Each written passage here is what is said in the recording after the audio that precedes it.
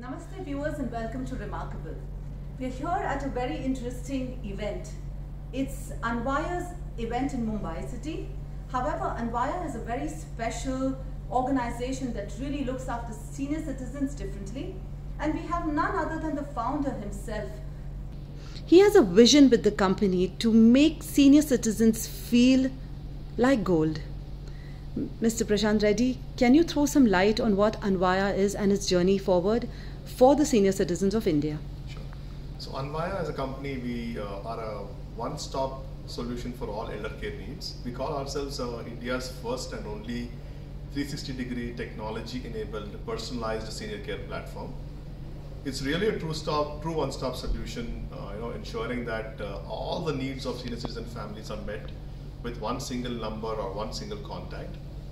So we cover right from healthcare assistance to you know 24/7 emergency assistance, daily needs like you know delivering groceries, taking care of plumbing, carpenter, electrician services, and also travel, tourism, taking them out for movie, taking them uh, you know and taking them for dinners if required to, celebrating their birthdays, right?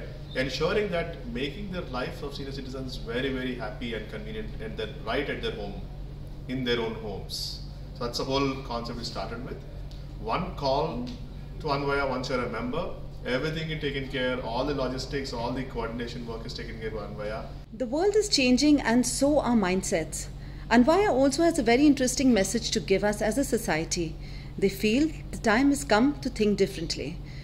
Mr. Reddy, what do you think about this new age change that uh, maybe India needs to learn from? About senior citizen care, and it's a good thing to also consider living in senior citizen homes. So uh, let me start saying here that you know the current generation, which we are right now, I mean uh, my dad's and my father's generation, they still like to live in their own homes. They want to live within their homes and be comfortable. And uh, it's and Anvayaa like companies are able to provide that in their own homes and you know take care of them end to end while I become old tomorrow, right? I mean, when my generation becomes old, I don't think I personally would look living in a, you know, I would not say call them old age homes maybe, I'll probably call them a senior citizen friendly living communities. And I don't mind living those in those communities and that's what I think we should look for a change.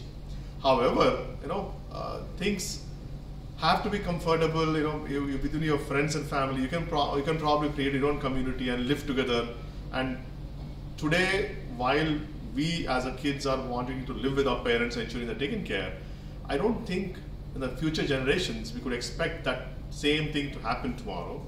And it's absolutely important to consider independence of the children which are children tomorrow and independence of our own self as well to be living on our own self and ensuring that we're happy ourselves so that's i think a, a, change which we need to look for in the society and we have to also change our mindsets. It's okay to somebody else to take care of your parents as well. It need not be that you have to be always there for them.